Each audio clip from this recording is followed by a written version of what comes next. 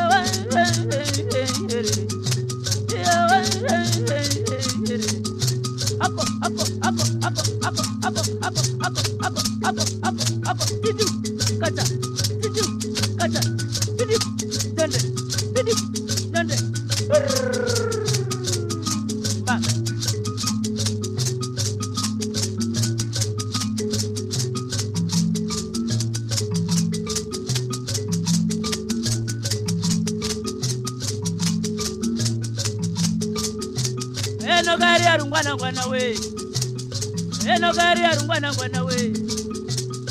Makandiita nemba nepasi.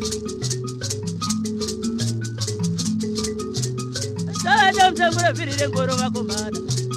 Savata mutangura pirire ngoro vasikana. Saveta mutengure makakatanwa atonyara saveta mutengure makakatanwa atonyara saveta mutengure haiwa iwo akati saveta mutengure haiwa iwo atonyara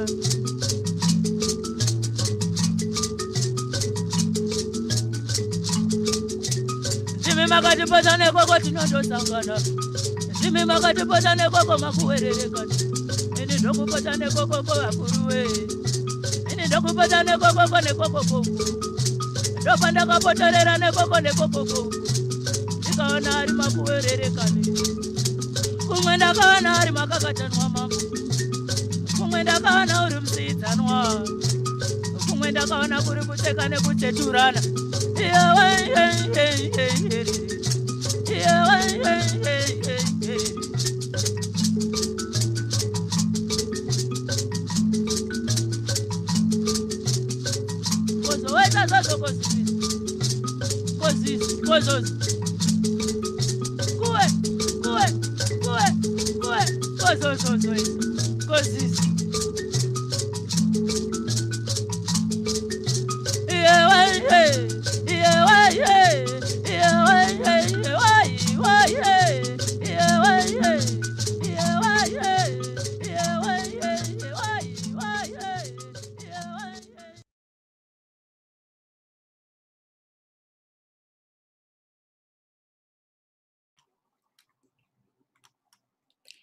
everyone, and thank you all for joining us today at the San Francisco State University Poetry Center and Archives for this remote reading and conversation between two singular thinkers and writers, Momtaza Mehri and Zoe Samudzi, which is being co-sponsored by the Tripwire Cross Cultural Poetic Series.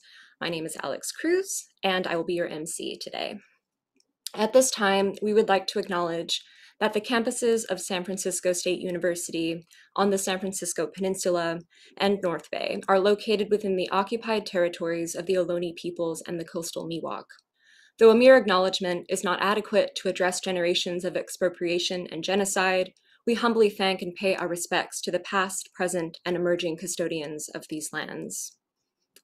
Uh, we very much look forward to your questions following Zoe's and Momtaz's readings, uh, but please send these using Zoom's uh, Q&A feature rather than the chat. Um, I would also like to announce that next Saturday, March 20th at 12 o'clock noon uh, Pacific time, the Poetry Center will be hosting a reading and conversation between poets Denise Riley and Jennifer Soong with Brandon Brown as MC. Uh, so uh, now to discuss Tripwire Journal and the poetry series, I would like to invite David Buuck on screen. Thank you. Hello.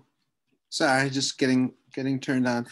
Hello, everyone. I'm in um, also in uh, unceded Ohlone territory, aka Oakland, on this side of the bay. Uh, thanks everyone for coming. Thanks Alex and um, thanks Steve and all the um, Poetry Center staff. Um, all power to the workers and students who, who's presumably underpaid and under-recognized labor uh, keeps these kinds of uh, projects afloat and thriving. Um, I just want to say a few words about this series. This is the third year that um, Poetry Center has graciously um, hosted and helped organize the um, uh, cross-cultural poetic series. Um, and it's been a really great opportunity to bring uh, interesting people together who are thinking dynamically and uh, creatively about um, what, I mean, even cross-cultural poetic seems um, like a somewhat dated um, um concept, since as we know, um, capitalism is very uh, efficient at um, diversity and multiculturalism practices um, being um, somewhat drained of their potential radicalism in the interests of um, multinational consumerism. But the writers we have today are, um, I think, a great example of something that's more, I guess, certain of the left in the last century might have called a, a, a internationalism, which is really about building sort of um, interesting kinds of connections and solidarities and, and sort of constellatory thinking uh, across um, borders and languages, milieus. And also just um, uh, Momtaz, I think, represent um, also not just sort of poets writing in, in their own and different traditions, but also working as activists, performers, um, um, scholars, uh, cultural critics, and um, thus across a variety of, of audiences and communities. And um, not sure if that means we could say cross subcultural poetics, but I do think that there is something that animates uh, the writing when it's in a wider um, conversation with communities with very different positionalities and um, political in, investments in um, what we might call radical literature. Anyways, that's my little spiel. You can learn more about this series at, um, I'll put in the, what you call it, uh, at Tripwire Journal, there is uh, the pamphlet series, uh, which are all as uh, $3 or free PDFs um, which includes uh, pamphlets from uh, Antena Aire and the Cartonera Collective, who were the um, participants in the previous two um, events like this at uh, the Poetry Center, as well as uh, you can donate. Here's my one donate pitch donate to the um, micro grants and translation as Tripwire pays uh, translators for um, uh, new translations, um, and it's just an opportunity to uh, pitch into that sort of. Um, it is a micro, but it is a it is a micro grant. So there is just to support translators who I think um, are increasingly important for how we um, get rid of borders. And that's it. Enjoy. Thank you so much again, everyone. Thank you, David. Uh, so uh, now I would like to invite um, Momtaza Mehri first, and uh, her bio is uh, Momtaza Mehri is a poet and independent researcher. Her work has been widely anthologized and has appeared in Granta, Artforum, The Guardian, Bomb, and Real Life Mag. She is the former Young People's Laureate for London. Her latest pamphlet, Doing the Most with the Least, was published in 2019 by Goldsmiths Press. Her Sugar Lump Prayer was included in the chapbook box set New Generation African Poets, edited by Kwame Dawes and Chris Abani, um, the African Poetry Book Fund, um, Akashic Books 2017. So without further ado, thank you, Momtaza.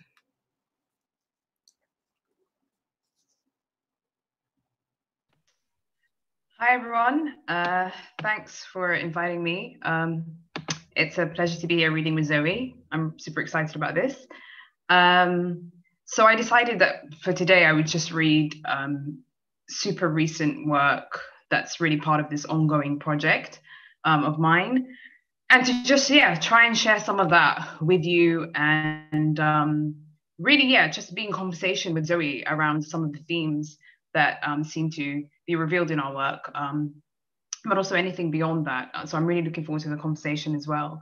Um, this this project I've been working on for a while now is part of a um, a wider sort of of this fluid text that's around the miasma of nostalgia and nationalism as a lens uh, through which to understand or reckon with family and the familial. Um, it's been well, it's actually been one of the hardest projects I've ever worked on because not only because it's deeply personal with a capital P, but also because it requires an interrogation of my own delusions, um, a kind of uh, disputing of the uh, of the common speech of disaster, to paraphrase Baraka. But I think it's also because it's it reminds me actually of this old, this Dean Blunt interview that I was reading the other day, where he speaks about music as a way for him to purge everything that he's absorbed. And I don't really believe in that whole well actually this is very personal but for me i don't believe in that whole writing as catharsis kind of thing that kind of vibe. But to me this project really feels like i'm sort of secreting in a way everything that i'm sort of that everything that i've sort of absorbed um, unwillingly. Um, so i've been thinking a lot of that idea of leakage in my own work um, and in relation to everything that i've been reckoning with but also, I just want to speak to the essence of this text and then fling it out and then disappear. So that's the goal. Um, so the project has kind of undergone various different reorientations, which have been like physically torturous. Um, so I'm just going to read from it and just read excerpts from the text and hopefully do it justice and um, yeah, maybe even do this very dramatic intro some justice as well. Um, so yeah, I'll just read some excerpts from it and hopefully I won't go over my time. The plural possible. I hear you talking about we a lot. Oh, you speak French now. That's an epigraph from the legendary Party Next Door. Past the Greek Orthodox Church, we linger down streets named after martyrs. The smell of fried potatoes clings to the skin of nostrils. Ahead, Avenue de Ghana. Unmoored in the land of Moors, Google Maps is thankfully useless. Old Medina swallows us whole. Detours to follow, detours to abandon. Unforgiving stretches of alleyways and dead ends. A being together that welcomes the uncertainty of a false step. If there's no definable entrance or exit, you can't get lost. Lost loses meaning. Track your way in tea houses. Hissing oil vies with Miriam Makeba's daughter asking us if we remember Malcolm, if we remember what it meant to wake up black and alive and free in Algiers. The long 20th century rattles like a loose tooth in the mouth. Let us skirt the puddles of its failures. Crisp apple and mint, pass the pipe clockwise. So much of it all depends on how, not what we remember. Hooded men sweep doorsteps, the Sahel remains securitized. Dispossession has to be more than an icebreaker, kinship more than the kindling of decolonial lullabies. We are trying to be responsible with our pain. The coast will not let us forget it. A cab ride away, time belongs to plastic debris and giggling schoolgirls. Sunburnt expats turn suburbs into playgrounds.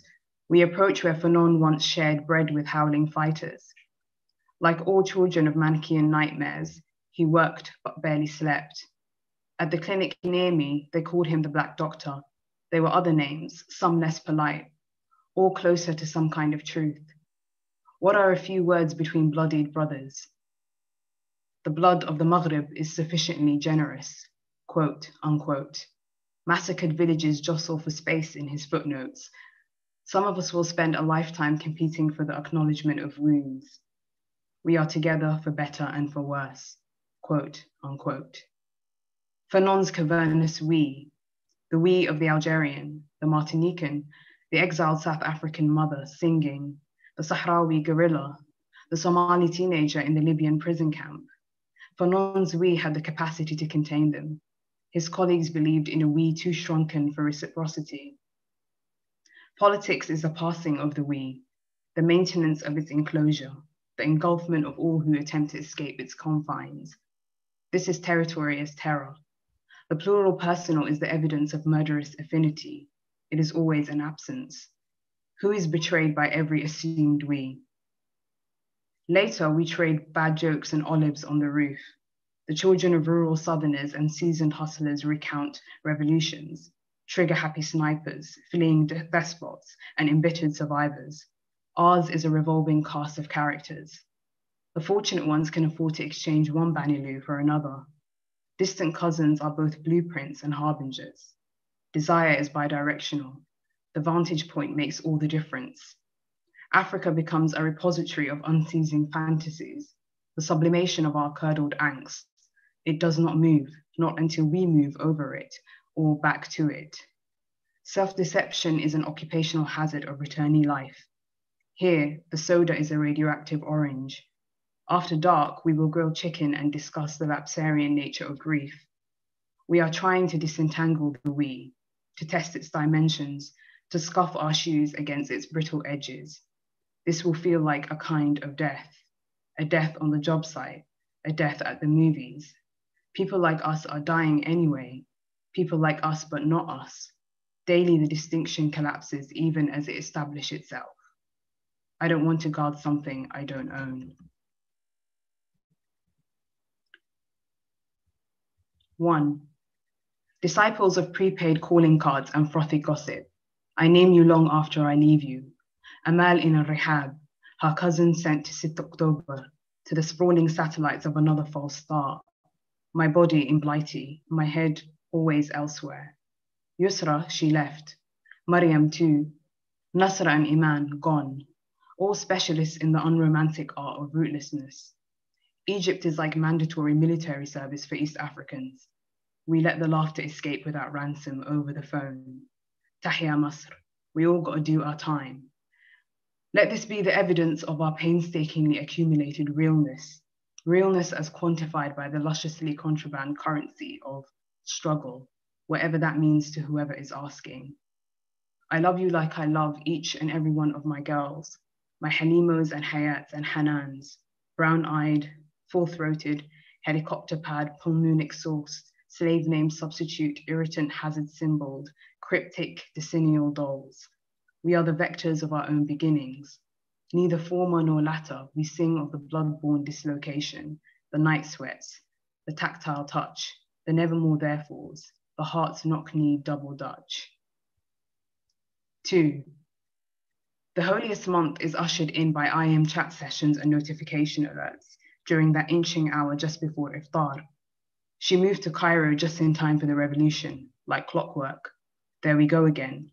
Blackness as centripetal force, as timekeeping beyond time, as magpie collation, as maroonage, as a besieged midwife, as a mating, a wahala, a junoon, a reverie of blue-veined jinns.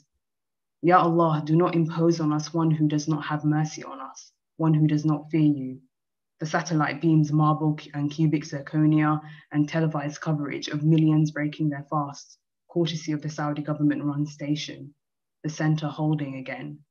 Like when Maymuna's sister left for Damascus for medical school, only for the war to start, and she told everyone she didn't get this far just to leave without graduating, and her Abba said he didn't give a shit if a bomb fell on her head. She was going to be a doctor.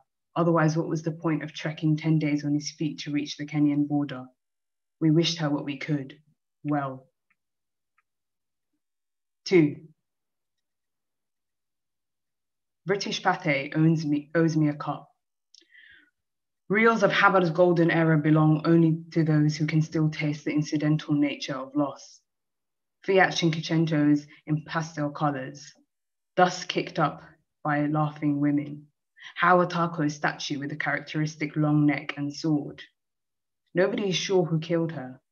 January 1948 saw the deployment of the Four Powers Commission, composed of the US, Britain, France, and the Soviet Union, to Mogadishu. The objective was to determine the future of Italian colonies in the Horn. Protesting Somalis were gunned down. Tako was one of them. We can't be sure who fired the fatal shot. Some say she was struck by a poisoned arrow by a Somali man fighting for the Italians. Either way, it was most likely a man. Post independence, Tako was inaugurated by the Somali Youth League as a national heroine. The motherland, stone and sword in hand, a baby on the banknotes. It's amazing how much exposition a 40 second clip can contain. Children hug their satchels, led by a teacher in spotless shoes. She points at the murals and traces an oversimplified linearity both in air and thought. Marx, Engels, Lenin, Siad, the generation born feet first. I am bored of hereditary cages. Do you hate what the country has done to you, or do you hate what we have done to each other? I don't know what to tell you that I haven't told myself. The screen buffers, baited, you catch your reflection on the screen and watch yourself watching yourself. FOMO, fear of mutual outpouring. Convince yourself it belongs to you, that anything belongs to you. Find a flurry of footage to corroborate your arrogance. Call it research.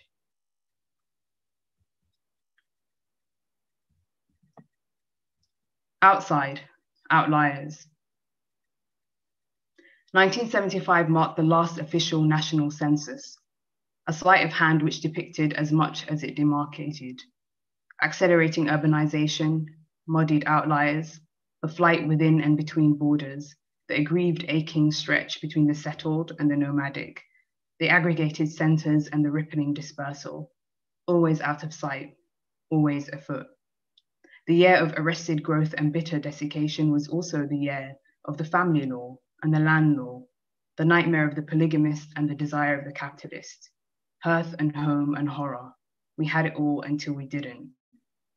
The census was held during an abar, one of the grimmest droughts in the young country's history.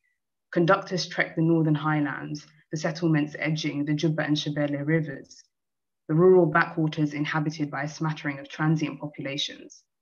In search of water and sustenance for their children and animals, the Abar had propelled many into desperate motion, into another kind of scattering. Enumerators struggled against this heightened state of flux, trying to capture this errantry, to count the restless flock, to bestow the unwanted gift of legibility upon the people. They were not seeking clarity, only a refracted chink of purpose, the telos of nation, the polity of innocence. Movement was negation, a primitive hesitance to accept what the lettered and learned foisted upon one's own cosmology. Movement as the skepticism of the faithful, as practice refusal.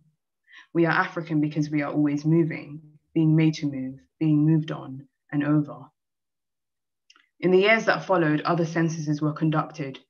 Their findings never published. The 80s were a decade of entrenchment, the clan a body of myth and mystification that ballooned, swelling with its own contradictions. Its limbs atrophied, but still, we carried it over our shoulders, passed the effigy on like dutiful non citizens. During that time, conductors were suspected to have exaggerated the size of their own clans. Some say government officials were shocked to discover the true numbers of minoritized groups and the disquieting possibility that their powerful clans were, in fact, statistical minorities. Legitimacy is disputed, our current state is its refutation. There is no way to determine which tribal affiliations, ethno-nationalisms, linguistic patterns, or territorial claims constitute an incontestable majority. The fraught political system hinges on the representation of all major clans on a patch of land where everyone thinks they are the majority. Men lie, women lie, numbers don't, until they do. The ripping up of land tenure and enshrinement of dispossession was also the year of the rural literacy campaign. Take with one hand, teach with the other. My city bred father sent to the hinterlands with a duffel bag full of thumbed through textbooks.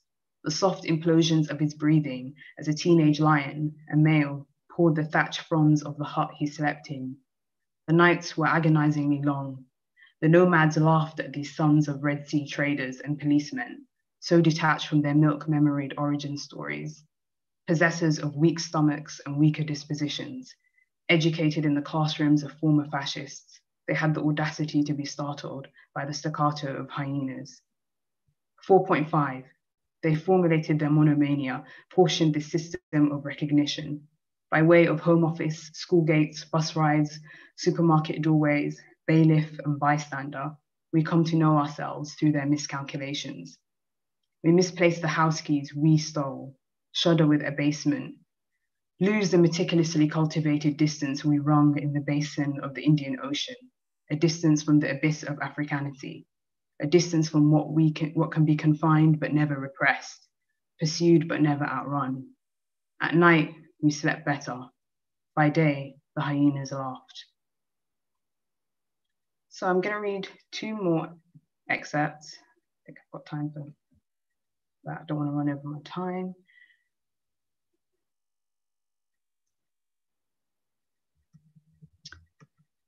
Hoyas dragged up into other languages. Hoyas who didn't speak English, Swedish, German, Finnish, Dutch. Hoyas who could read in Arabic but couldn't understand bottle throwing Egyptian nor accented humiliation. Hoyas who didn't speak at all. Hoyas with no use for niceties. Hoyas with dreams of their own. Hoyas who debilitated us with the weight of their dreams. Hoyas who married high school sweethearts. Hoyas who married bus drivers.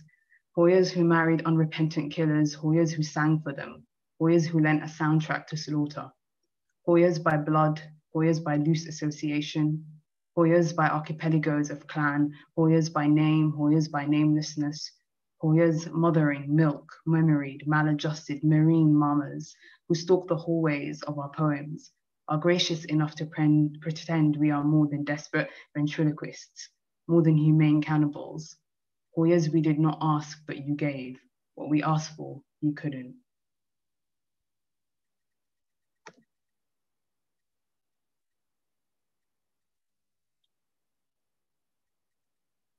So I'll read. I think I've got time actually, because maybe I'm good for time. I think I can do one more, yeah. So this one is actually the only one I've read so far that's from the pamphlet. So I guess it's not as recent as the rest, um, but it's very much in vein with the rest of the project. Okay. Fluke by any other name is a flight number. When they first came over, nobody knew what Finland was, or where it was, or what to even wear on the flight. You passed the medical examination and stood there glorious as a beggar, as the American doctor laughed and said, You're good to go.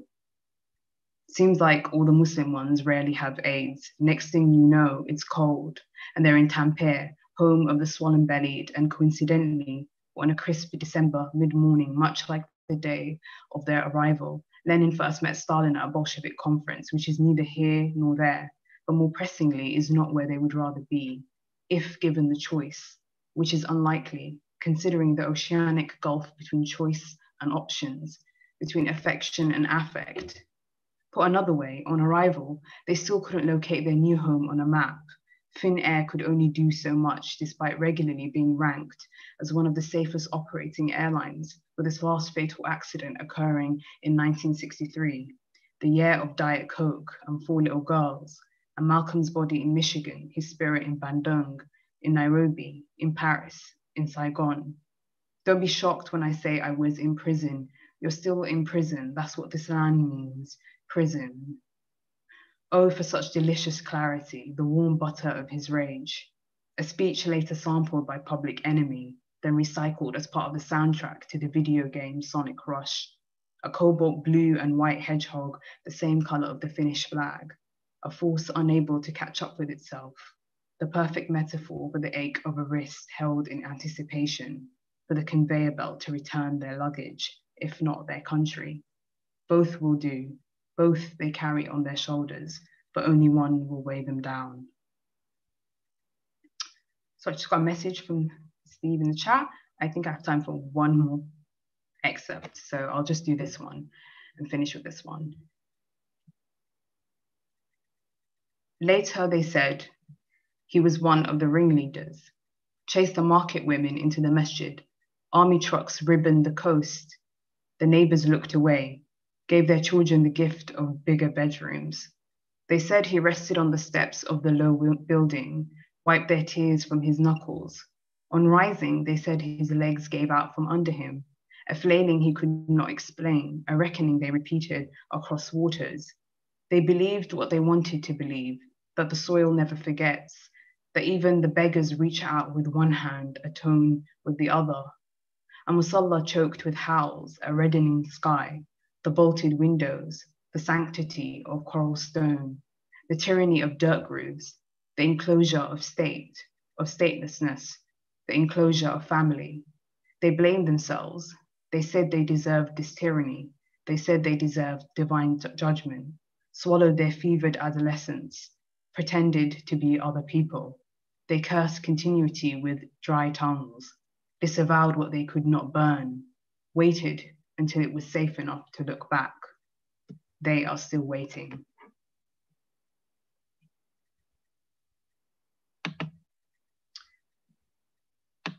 Yeah, so thanks for letting me share that with you.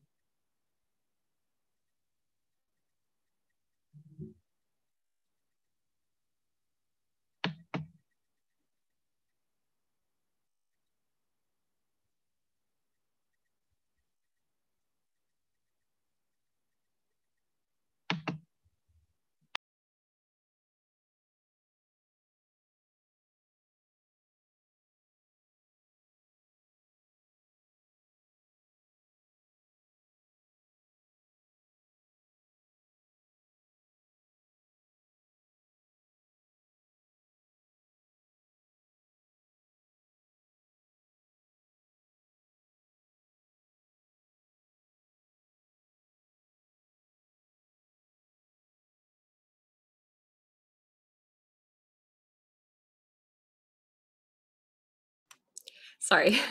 Thank you so much, Momtaza, for that really incredible reading. Um, I'm so delighted to talk more about it um, later on in our conversation. And now it is uh, my pleasure to introduce uh, Zoe Samudzi. Uh, Zoe Samudzi is a writer, photographer, and a doctoral candidate in medical sociology at the University of California, San Francisco. Her writing has appeared in The New Inquiry, Warscapes, Truthout, Roar Magazine, Teen Vogue, BGD, Bitch Media, Open Space, and Verso, among others. With William C. Anderson, Samudzi is co author of As Black as Resistance Finding the Conditions for Liberation, which was printed by AK Press in 2018. Right, thank you so much.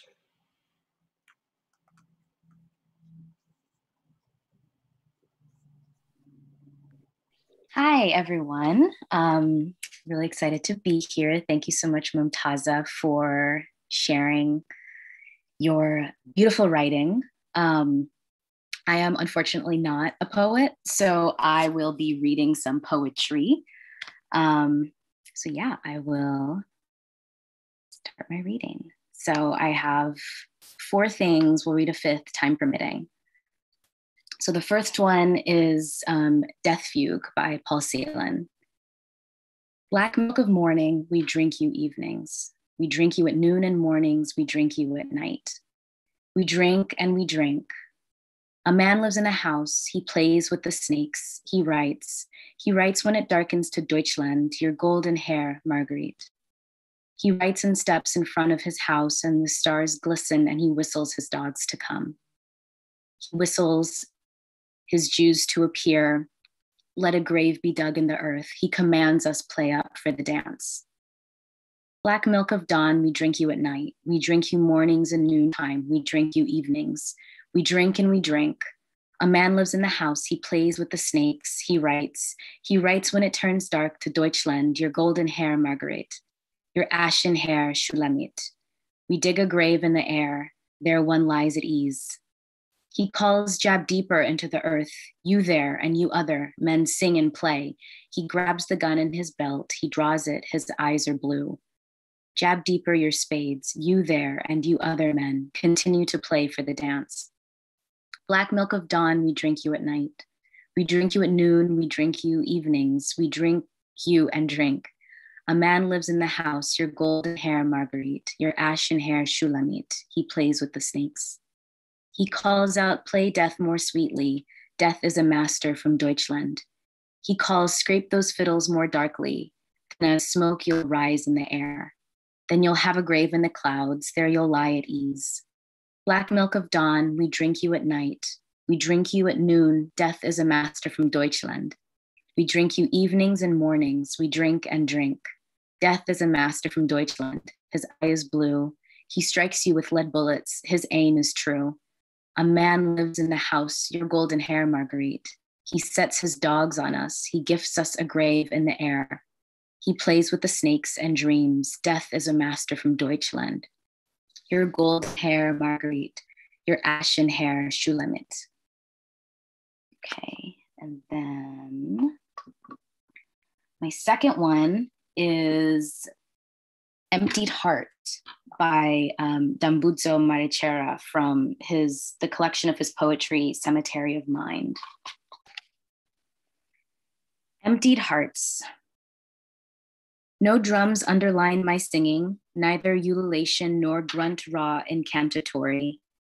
Even when the, even the song is only what happens when emptied hearts are dredged from the watery lanterns, tugged and fished into the gasping air where arias concuss and truncheons educate, and books destroy the eyes, and machines through the flesh through flesh run amok, when emptied hearts are dredged from watery lanterns. Agreed and smiled to death by, by pale, earnest virgins, who in bed tear and claw with voracious appetite. I thought all Negroes were big. Shrink cheated, perplexed, and I watched London recede from the red screen of closed eyelids my heart, my emptied heart dredged from the watery lanterns. Yes, no drums, but snug pear shaped buttocks that tease and squirm when red hot embers strike deeply from Zambia, Mozambique, Botswana, strike deeply. This screwed up bitching tract of emptied hearts with water dredged from the watery lanterns, with nothing to lose but their precious void of self.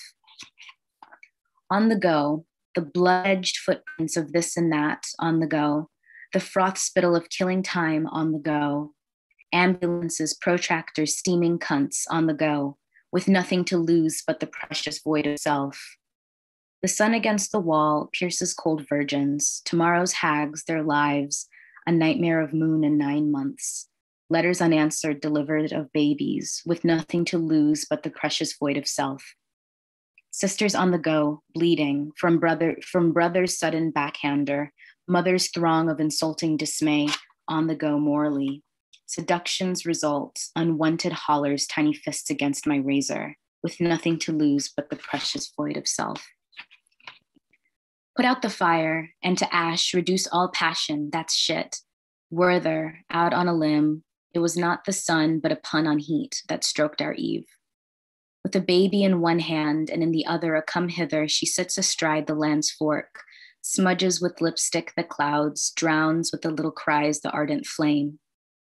My dreams are derelict, derelict lives of honey and sting plundered, such days as stagger across view, such nights as leap across the gutters and drains, such exhaustion as fills the space memory relinquishes, are the excretions abrupt to the wayside. The word's dark stain has touched the deepest pain, and there on a leaf the poem's chrysalis trembles, I ease the penis into place and motionlessly race towards the world's rim, with nothing to lose but the precious void of self. Morning leans on a sunbeam, pipes her shrill melody with a gleam, till walking more than dreaming in chance, I bundle the stained sheets into the bin, The day's pleasing promise soon turns sour, the honey and sting plundered by rain and doubt. I dream a terror dreamless, a darkness shadowless, lightning flared with slow and stealing attack. And voracious sick sees the red lipped wooing bitch with bursting greed drive against her forceful vitals, galloping deeper and deeper till my testicles explode, wiping the void with the deafening back of hand. Okay, next piece is um, um, a small excerpt from Elaine Scarry's incredible um, The Body in Pain. Um, let's see. As in dying and death, so in serious pain, the claims of the body utterly nullify the claims of the world. The annihilating power of pain is visible in the simple fact of experience observed by Karl Marx. There's only one antidote to mental suffering, and that is physical pain. A pronouncement whose premises are only slightly distorted in Oscar Wilde's God spare me physical pain, and I'll take care of the moral pain myself as though in anticipation of a century that would produce out of its own physical well being an endless fascination with the details of psychic distress and dislocation. The 19th century periodically reminded itself and its heirs of the privileges implicit in madness. Whether that reminder took the form of aphorism, as in Marx and Wilde, or was expanded into narrative, as in George Eliot's Arthur Donnithorne who notices petulantly that physical pain might lift him out of his own self absorbed boredom long enough to help him avoid damaging himself, a very young woman, and the hierarchical norms of their community. Physical pain is able to obliterate psychological pain because it obliterates all psychological content, painful, pleasurable, and neutral. Our recognition of its power to end madness is one of the ways in which, knowingly or unknowingly, we acknowledge its power to end all aspects of self and of world. Another manifestation of this power is its continual reappearance in religious experience. The self flagellation of the religious ascetic, for example, is not, as is often asserted, an act of denying the body, eliminating its claims from attention, but a way of so emphasizing the body that the contents of the world are canceled and the path is clear for the entry of an unworldly, contentless force.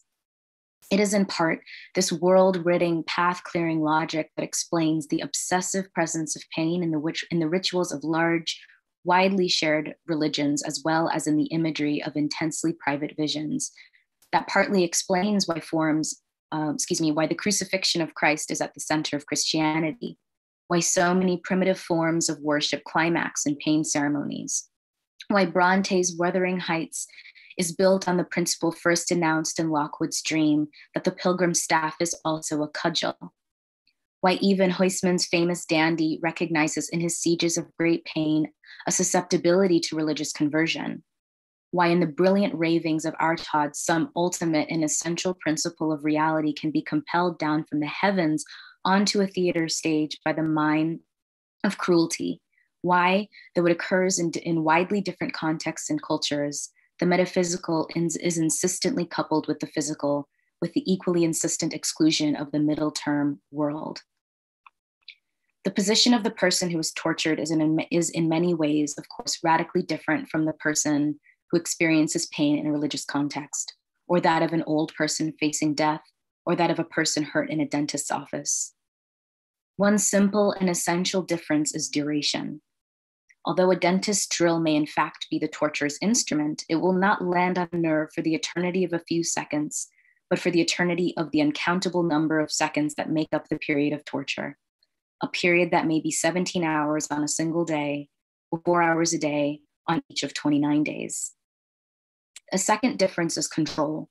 A person tortured does not will his entry into and withdrawal out of the pain as the religious communicant enters and leaves the pain of a Good Friday meditation, or as the patient enters and leaves the pain of a healing therapy.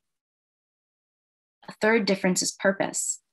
The path of worldly objects is swept clean, not as in religion to make room for the approach of some divinely intuited force, nor as in medicine or dentistry to repair the ground for the return of the world itself.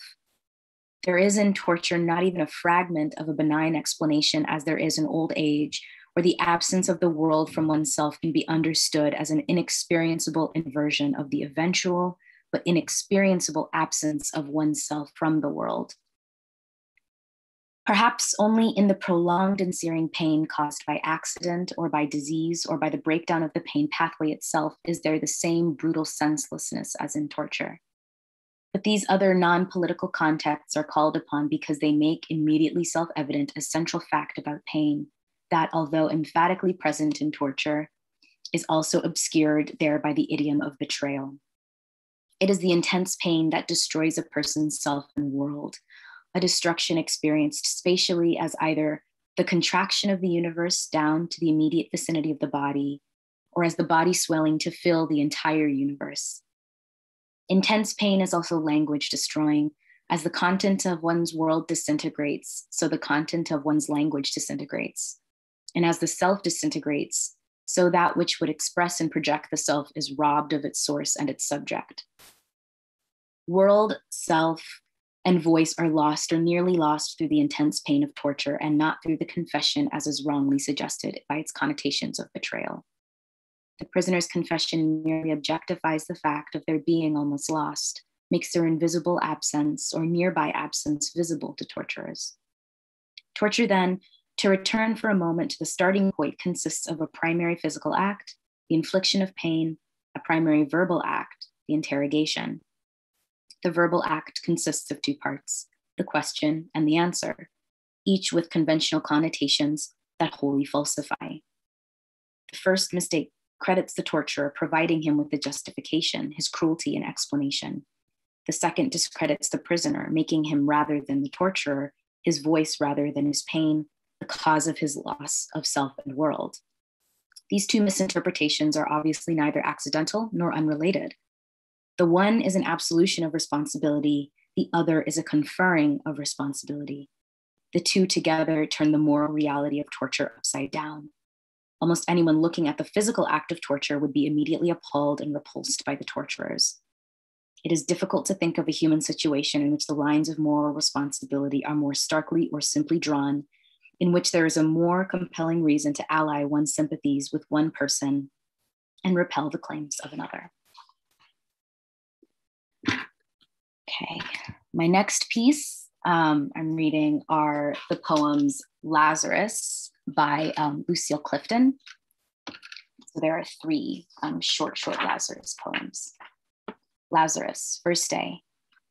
I rose from stiffening into a pin of light and a voice calling, Lazarus, this way. And I floated, or rather swam, in a river of sound toward what seemed to be forever. I was almost almost there when I heard behind me Lazarus come Lazarus come forth. And I found myself twisting in this light for this is the miracle, Mary Martha. At my head and at my feet, singing my name was the same voice. Second day. I am not the same man born into the crypt. As one's return from otherwhere, altered by what they've seen, so have I been forever. Lazarus, Lazarus, who was dead. What entered the light was one man, what walked out is another. And the final third day. On the third day, I contemplate what I was moving from, what I was moving toward, light again, and I could hear the seeds turning in the grass. Mary Martha, I could feel the world. Now I sit here in a crevice on this rock, stared at answering questions. Sisters stand away from the door to my grave, the only truth I know. And I have time for the very last one. So I'm glad I managed to time this well. So it's called um, Limpopo Blues by Tsitsi Ella Jaji.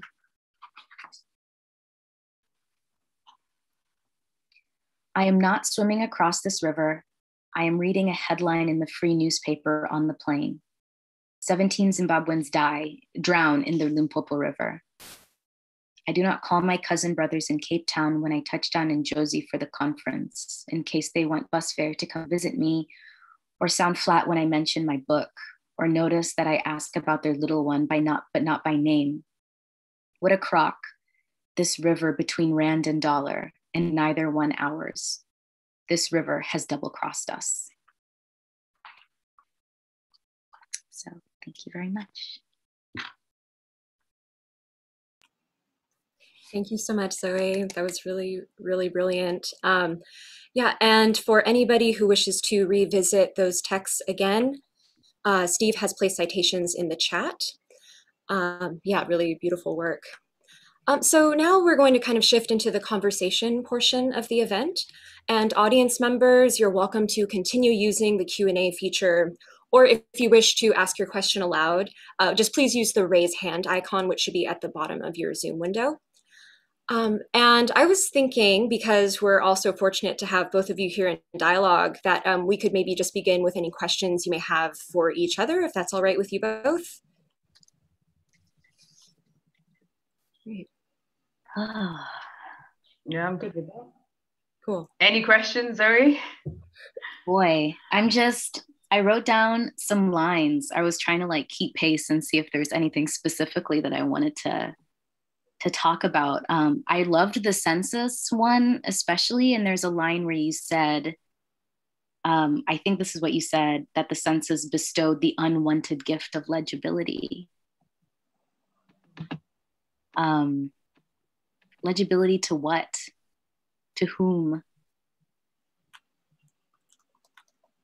Right. I mean, in terms of the actual sort of the census uh, taking process, um, in 1975, it was very much this idea of legibility within the framework of uh, major clan and minor clan, um, and also the various different ethnic, uh, so minoritized ethnic groups within Somalia, but also in general, just legibility as this sort of confine that we're still we're still trying to grapple with, and in many ways, it it it is again it's about it bestowed upon in many ways um, and you have to sort of figure out where you fit within it but also it's very much ties into the the fracture of the country and everything that's that's actually going on right now in terms of how you it's morphed into the contemporary 4.5 political system in Somalia, which is again 4.5 to represent the four major clans and the 0.5 is really everybody else. Um, and again, it's that refusal to, it's, it's, it's that refusal to sort of really sit with the murderous affinities and affiliations that comprise this thing called uh, Somali nationalism, like all other nationalisms, um, except within our context, you know, it's a nationalism that's uh, celebrated and taken and taken as you know the only the only way to enter or be in relation to Somalia is through Somali animal. So if you don't fit within that confine, then yeah, then you're outside the context of the nation.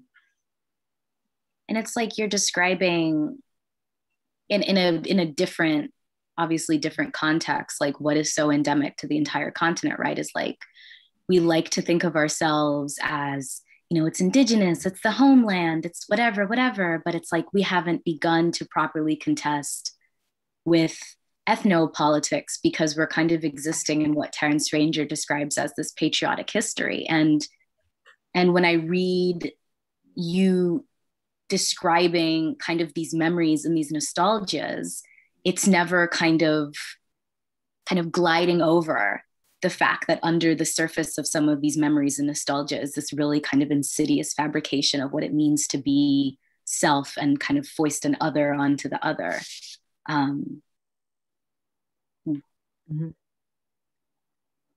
Yeah, yeah. I mean, it's, it's it's exactly like what you said. This sort of ethnopolitics of of. I mean, and for me, I'm very much concerned with the father, the figure of the father, um, and the figure of um, the mother as being these two poles that represent their own sort of um, contested nationalisms.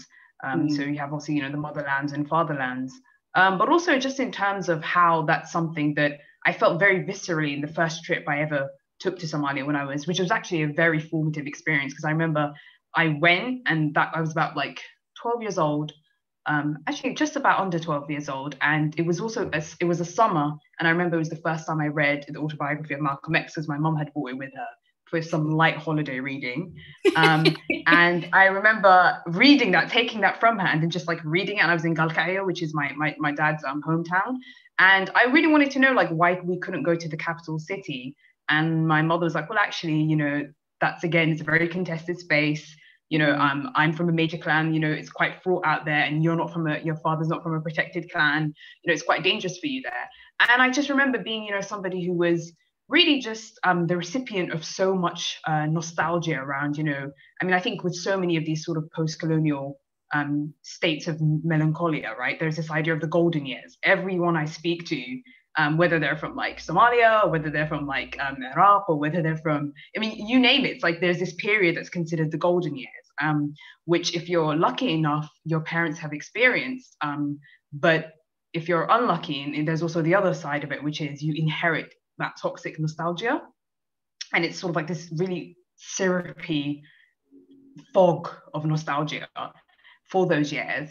And I just remember, you know, being in that context and then just noticing things like, well, actually, there's these very marked roles that people who are Bantu Somalis or people who are Somalis outside of um, the main dominant um, ethnic groups, that these roles they fulfill within society, right? And they're the, the, jobs they're relegated to, and just like being really immersed in that. And it's just an experience that for me, I, I've never really, in many ways, I've never recovered from it because it was, I just realized that you know that wasn't, it wasn't a space where you could you could just be embraced in a way that was I, I felt you know you could have that sort of returnee um, fantasy. So for me, it was very that fantasy was shattered at a very young age. It's so interesting to contrast that with like the year of return. Yeah. Mm. Very love me not. Um. Yeah. And that feels related to the last line that I wrote down, which was waited till it was safe enough to look back. They're still waiting. Mm-hmm. Um, and I, I, wonder as well, because we've had some conversations before, disclaimer to everyone. Um, but um, I was just wondering how that sort of fits into your own um, your own work. This idea of nostalgia as almost genocidal impulses. Um, I mean, I think about God, where do I start? I mean, there's the kind of personal as you know zimbabwean and then there's the kind of intellectual that i'm kind of trying to parse through as an outsider in the namibian context. And you know in zimbabwe patriotic history revolves around shona nationalism right? There's the fact that when we think about the major resistance struggles of which there have been two the first one was primarily fought and initiated by the ndebele and yet we call it the chimurenga which is the Shona word for struggle, as opposed to Umvukela, which is the Ndebele word for it. And there are so many ways that in the construction of the nation state, you know, the Ndebele people have been kind of written out of history. Um, you know, obviously kind of culminating in, in, in President Mugabe literally attempting to exterminate the Ndebele people in the in the 1980s during um, the Gukurahundi. And you know, there hasn't, you're, you're not really supposed to talk about the Gukurahundi because, you know, Mugabe not left office, but was removed from office, you know, a couple of years ago and passed away. And now the current president was a part of that as a part of the military apparatus. So I don't know. I'm trying to think about, you know, in me being embracing Zimbabweanness, what my responsibilities are as a Shona person. Um, whether it is or how it is possible for me to be excited about Zimbabwe as a project um, when I have a politic of not being excited about any nation state. And mm-hmm. when my Zimbabweanness was constructed to necessarily come at the expense of Ndebele people and other and the Shangani people who are right now the government is trying to push off of their land to um, to grow feed um, for for livestock. Um, and yet this is the country that was celebrated for taking land back from the whites. Um, and then of course in the namibian context you know you have this history of the herero and nama genocide that the namibian government is calling the namibian genocide because we all suffered under colonization. And yet not everybody was specifically targeted for annihilation um, by the germans. So yeah, I I don't have answers. I think I'm I'm for the first time having to confront it in a way that is both kind of academic and scholarly and also deeply personal. And I'm I'm trying to be honest like like you're trying like you're being honest. Um but you know it's this it, it's weird when you think about like the stakes right? Like I don't know if my parents were around for the golden age. I think my mom left right after independence. Um yeah i don't i don't know. I found it sort of interesting that you um, chose a poem by um, Dambudzo Marechera um, because for me in so many ways it personifies this sort of idea of of the exile um, as a deeply unromantic figure yes. um, and i was just wondering yeah wh- why you chose Dambudzo other than any sort of was it for, for reasons of his work or what he represents or, or really just a combination of the two? Yeah um, i think it's a combination of the two. I think his his fiction and his poetry are both can both be incredibly like difficult to read. Um, i think he goes against so much of what we kind of think about. And i think we were just like kind of talking about exilic writing last night. Um, he's completely unromantic about the fact that he's not in Zimbabwe and he's completely, I wouldn't maybe say pessimistic, but he's just deeply cynical about what Zimbabwe will become as though he, you know, Zimbabwe got its independence late. So we saw already, you know, the revolution beginning to cannibalize her children. And he was never able to become romantic because unlike so many other people, he saw the warning signs and he refused to ignore them.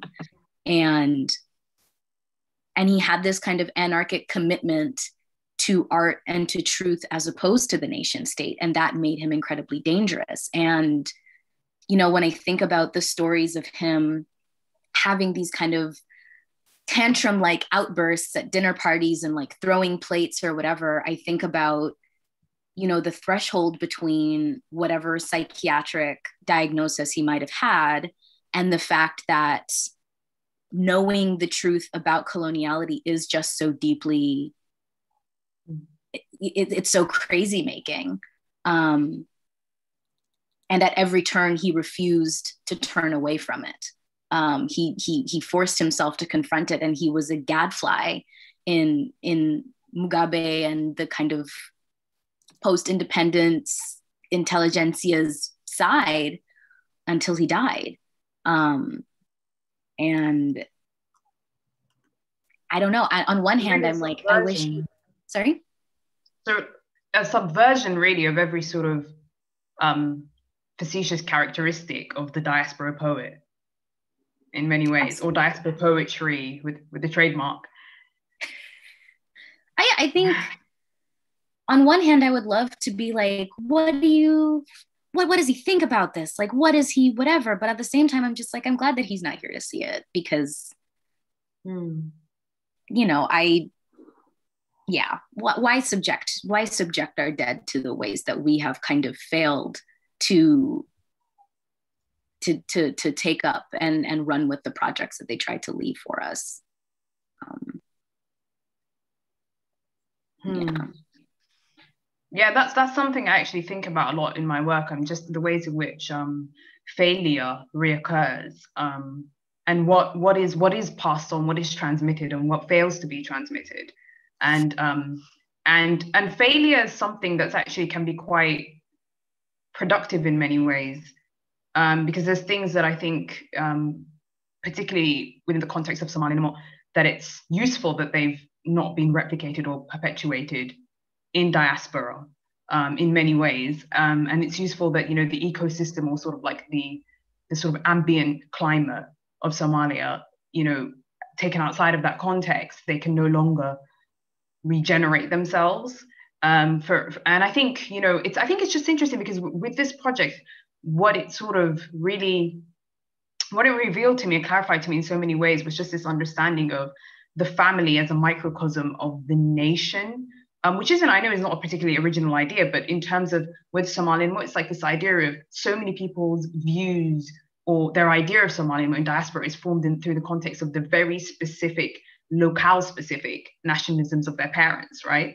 So it's this notion of, you know, you go meet somebody else and they'd be like, well, actually, we don't eat that, or we don't speak that language, or like, what is this? You know, I thought we were taught that we were a people of, because with Somalia, there's a persistent myth of one people, one language, one ethnicity, which is very obviously, I mean, it doesn't have to be said that's actually very far from the truth but everybody believes it in their own little household um, including people who come from various different ethnic groups and then they come together in certain spaces and they realize well actually i have no idea what's going on in the, the southeast of the country or the northeast of the country or you know you were being attacked during this time and uh, we didn't know about it you know because it was you know shut down and completely um, all evidence was obliterated by the government and by um, the dictatorship. So it's just very interesting to see how the, the, the, the ecosystem of the household nurtures these contested nationalisms, um, which I find very, very interesting because um, in many ways, a lot of my relationships with Somalis have been through, you know, identifying through the, the major clans uh, of my mother as opposed to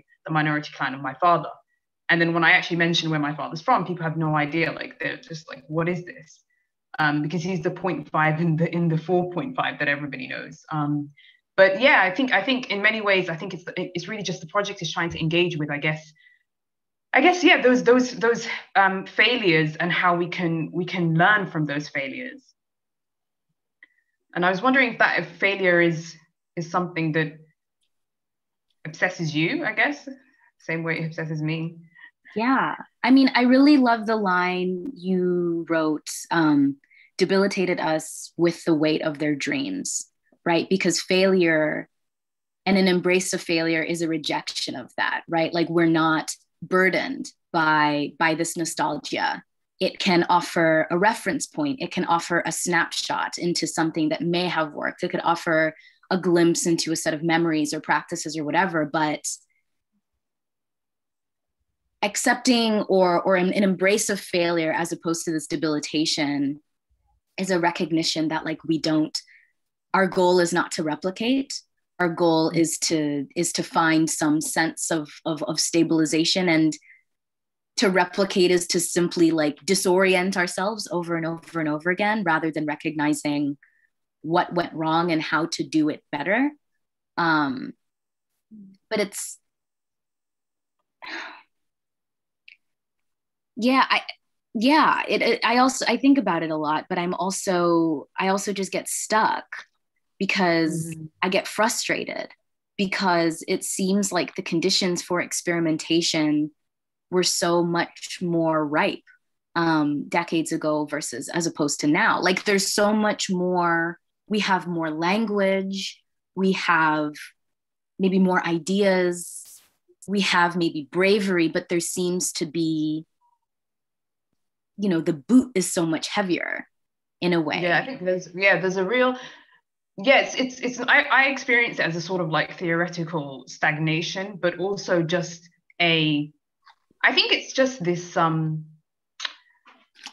this moment of of of rupture that then ripples out and then almost calcifies one in its wake right? So you have this you're almost like stultified by the just the overwhelming nature of displacement at least for Somalis and in so many ways, you know, you have, and, and I think that what you, what you just described as stuckness would be, you know, growing up with people who it didn't really matter where they were raised or like the passports they carried, every single person, um, regardless of their age, had this idea of, I'm going to return to Somalia. Um, which I found really interesting. I remember picking up on the idea and just thinking, well, actually, this is very strange because everybody else I speak to seems to be quite comfortable being British, but everyone here just wants to go back to Somalia um, even though you know the image that you know you're fed on in the news and stuff like isn't a particularly pleasant one but nobody cared. Everyone was like i'm going to learn these skills so i can go back and they would be like 11 years old saying that.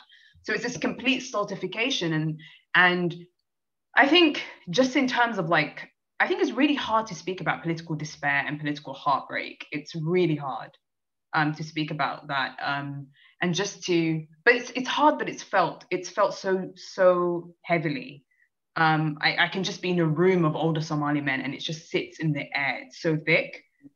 Um, mm-hmm. But it's it's I think it's also a, it's a conversation that one of the reasons it's so difficult to initiate is because it always requires it has this transgenerational element to it um, which which can be difficult because you're unlocking memories you're unlocking you're unlocking people's own desires which i think in many ways everything i write about is about desire it's about repressed desire. It's about anticipatory desire. It's about shared desire. You know and and i think and in many ways i think that's it's been very difficult for me to tap into these stories because i feel like a lot of the elders in my community personally they don't they don't really feel as if they want to share that part of themselves because it's so beaten down yeah and it represents a it represents their youth and it represents i mean that's that's the idea of like this whole like the nostrum that is like the um the golden years that hangs over the heads of many people who experience these these moments of um, post-colonial, post-independence um, rigor and and and energy, and then just lost it. You know, and there's real heartbreak there that I don't think like we've we've contended with as a as a continent, as as African people. Yeah, yeah. I mean, so much of my relationship to Zimbabwe comes from, you know, the guy who taught me politics, who's like an ex guerrilla. And, you know, I, I sent him some something from a book I didn't like that was talking about violence. I think it was actually, I sent him a piece of Judith Butler's book on, on nonviolence, which I didn't like very mm-hmm. much. And I was like, what do you think of using Fanon this way? And he went on a whole thing, you know, we would train and we would read Malcolm X and Nkrumah and Fanon and this and this and this and how could this happen and how does this make sense and there's this way that like him maintaining the same kind of ferocity um political ferocity like it makes me really sad because where is the space for that? Where is the space for that kind of energy to exist outside of our conversation in the lounge? Like where in Zimbabwean pol- like it's the thing where so we've had well, we had one president for 40 years or for 38 years, right? So it's like there's no space for anything outside of opposition to that single person, which is a real stunting of political imagination for almost four decades. And mm-hmm. so when all of your energy kind of revolves around this singular person and then the singular person is gone, then what do you have? Okay, now you know we don't, there's this new person who was the old person's vice president. So he's basically like the old person, but it's, there still hasn't been this this injection of of like a politic that allows for a capaciousness of ideas and experiments outside of electoralism outside of the nation state and or outside of thinking about neoliberalism in the future right? Like what of restitutions? What of reconciliation? What of acknowledging out loud what happened in in from like 80 what 83 to 87 you know what where, where is this where is this kind of like desire i'm not going to put like the radical in front of it to like make it a modifier but where is this real kind of radical repair um for this whole generation of people who were traumatized by the war who were traumatized by this genocide? Um do you think do you think that perhaps the um the re- the reverting to or sort of like the aestheticization of that those moments those moments of you know possibility political possibility um, that we see just in a wider sort of dias- diasporic context you know people it's everywhere around us you know everybody wants to put on a beret put their fists up that kind of thing so it's like do you think that in many ways is a sublimation of the despair. Yeah. Basically, people playing dress up and getting that soul back to us and commodified culturally. Absolutely. I mean, I'm I'm always so taken, you know, when it's like a different African Independence Day. And I'm always so interested in the photographs that people choose in their commemorations of that Independence Day. And it's always you know depending on the country depending what the particular struggle looks like it's like women with ak's it's it's these black and these beautiful black and white images of the golden years right? These these days of of your these these these these moments of goodness before it was ruined. Um and it's not super often that i see a photograph of the present. Um mm-hmm. and that feels like a reason for despair right? That that that the present condition is not sufficient to, to, to inspire celebration, to inspire a kind of nostalgic look back at the past 30, 40, 50, however many years there, there's been independence and really kind of sigh in a sense with a sense of kind of pride and excitement and satisfaction. Um, there's, yeah, and and i think also the other thing that really gets me is the ways that people praise independence parties. Um and you know the ways that there's such excitement about like these are the ones that brought us to freedom and these are the ones that da da da da da. And in a lot of the countries you know those are the people who are still in part in, in power because in mm-hmm. one way or another they've managed to eliminate their political opposition. Um, like are we are, are we also talking about about that about the kind of real time exploitation of of their of their bravery of their work admittedly right? And the the kind of contemporary necrotic rot that they have come to occupy in the countries um mm-hmm. so do you see a sort of space for for culturally the, the work of the work of that you, as you called it radical repair but I think it demands an honesty, right? Like I think mm. it has to be a repair that is not driven by nostalgia. Um, it has mm. to be a repair that, you know, in this in the case of Somalia, that is not driven by this, we are all Somali, one nation, one language, one people, whatever. Like that that's simply not true. Um, but I don't know I don't know what it would take for us to kind of move past this this this um this excitement over seeing ourselves represented right like i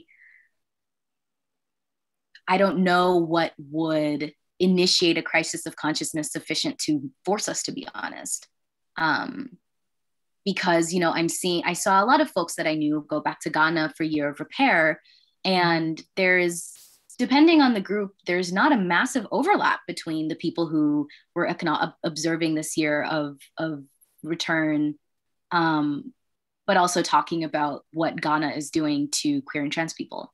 Um, mm. And so, is this like a diasporic effort, kind of diaspora, like like kind of not nation specific diaspora, but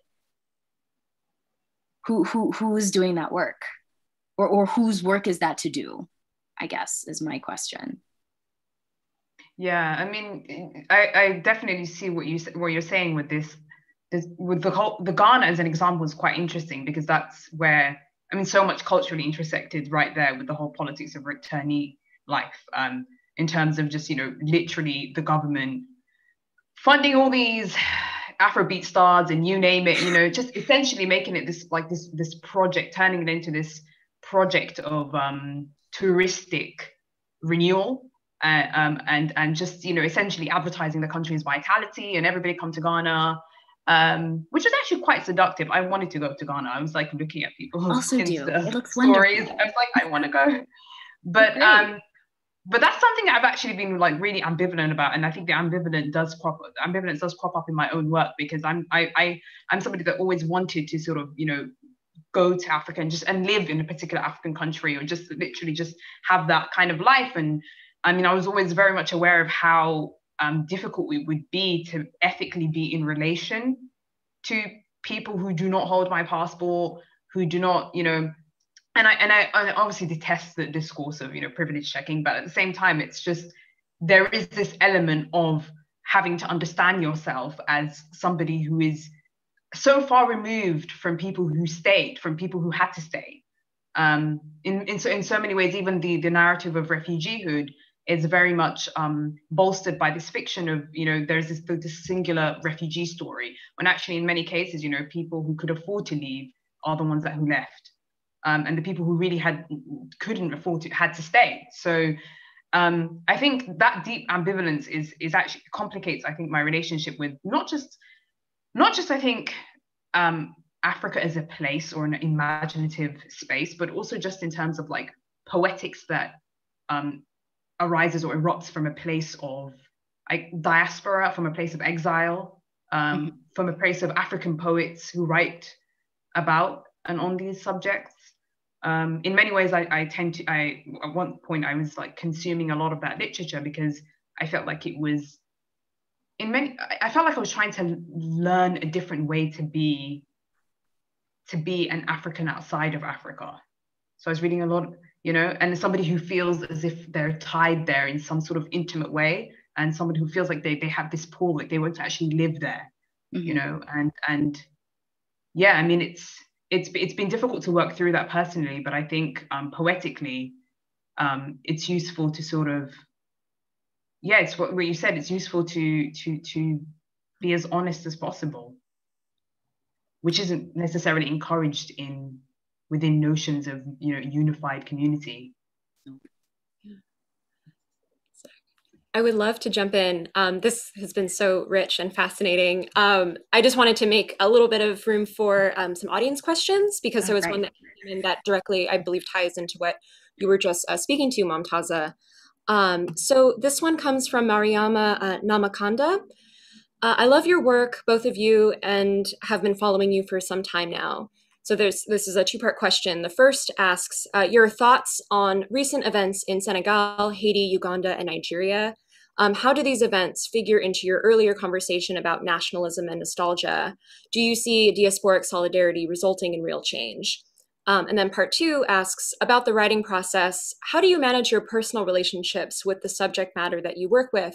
Are there certain things you don't include in your work? How do you deal with the heaviness of the subject matter?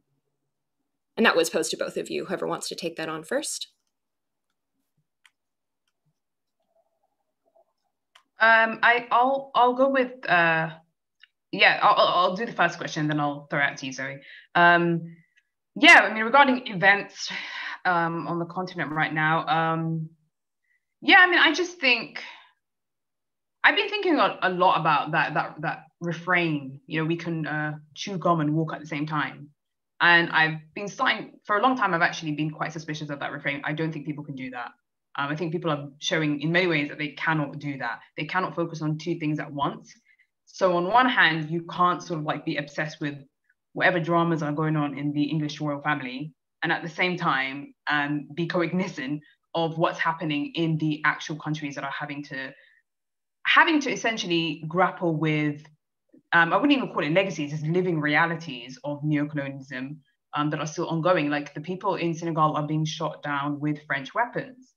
Um, and these governments are propped up by European powers to this day. So, I mean, it's, I think for me, it's, it's, it's quite hard to, to sort of, it's sort of quite hard to keep track because if there's one kind of political if there's one form of political conversation that truly like deadens my spirit it's um, what goes on in african politics whether it's somalia or in general it's it's quite um, it feels i think it's it's you're overwhelmed by how how much how overwhelming how overwhelming the capacity for avarice and and just pure greed that exists in terms of just this exploitative nature, the exploitative nature of the relationship the whole world has to Africa, right? It's a place of, it's it's it's it's, it's sort of this this this space where you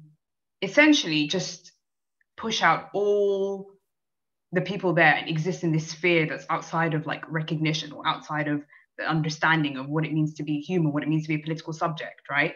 Um, and to be to be met with the weight of that every time you have a conversation about you try to follow african politics is you know it feels it's it's quite full of despair. And you know it feels like sitting in your living room as your dad talks to his friends and you're just like how are we going to disentangle this you know? But i feel like in terms of acts of solidarity um, i think educating oneself is what i try to do. And i don't mean that in the like horrifically anemic liberal way, but I mean it in the sense of trying to understand like why this is the way it is and how this is actually wrapped up in the, how in many ways the politics across the continent has reverberates and it's in, so entangled in so many ways. Um, and also just trying to understand where we can apply pressure as africans who are in these positions in diaspora right um, and also just trying to revert and i think for me for me it's always this act of emotional fortitude it's always this act of I see my empathy as a reservoir. And I truly believe, as I said at the beginning, you know, I can't walk and chew gum at the same time. I have to redirect my energy elsewhere. So all this fluff, all this sort of like representational hall of mirrors or whatever, you know, none of that really matters. Like I try to focus on what I can actually, what my empathy and energy should be focused on. Like this is what deserves it. Um, because in many ways, the condition of people in Africa is is mirrored by what happens to Africanized people or people of African descent across the world, right? And I know that's not a point that you know many people have brought that up. You know, Malcolm X was somebody who was very much a proponent of that. So I think, yeah, I mean, I, I, I try to see how I can fit in into the into the wider picture of uplifting, um, uplifting the people's political struggles there, and supporting them with everything everything I really everything I can do um, to the best of my capacity, I guess. Yeah, um, I think I feel pretty similarly. I think that a lot of my way of understanding the continent and the world has just been really understanding. Um, obviously, the United States is not exceptional, but understanding the kind of far reachingness of the tendrils of American imperialism. Um, that's not to let France and England and Germany and everyone else off the hook, but it's like I pay taxes in this country and I, I think that when we have conversations about taxes, we often think about, you know, the funding of the Israeli occupation, which, yes, absolutely. But, and also, you know, AFRICOM and the expansion of AFRICOM, um, the, the, the, fabri- the fabrication of these kind of war on terror defense sites on the continent. Um, has been a really invaluable part of, of understanding um, the continent as a diasporan. Um, and and yeah, I think diaspora solidarity is good and useful, and I and I also think that people on the continent are a lot smarter than us in terms of having a very good and clear understanding of what it is that they're experiencing and what it is that they need.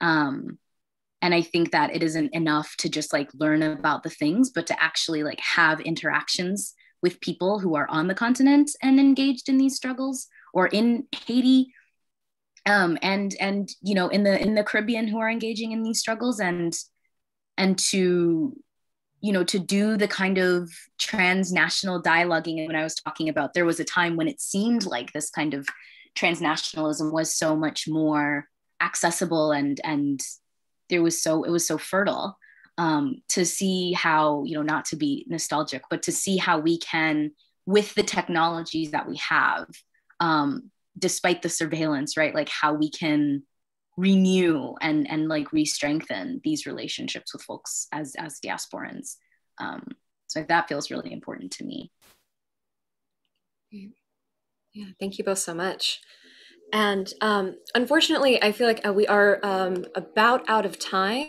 So I was just curious if either of you had any kind of like last remarks you wanted to share, ask one another before we wrap up. I can't think of anything, but it's really nice to see you and really nice to talk to you. And I'm glad that we got to do this today. Same, same. And I, I love, by the way, the Lucille Clifton poem that you chose. I just started like really, really reading her as much as I should. And um, that one is one of my favorites. Great. Thank you both. And um, yeah, just as a reminder to the audience, um, Jennifer Soong and Denise Riley will be appearing next Saturday at 12, um, uh, emceed by Brandon Brown.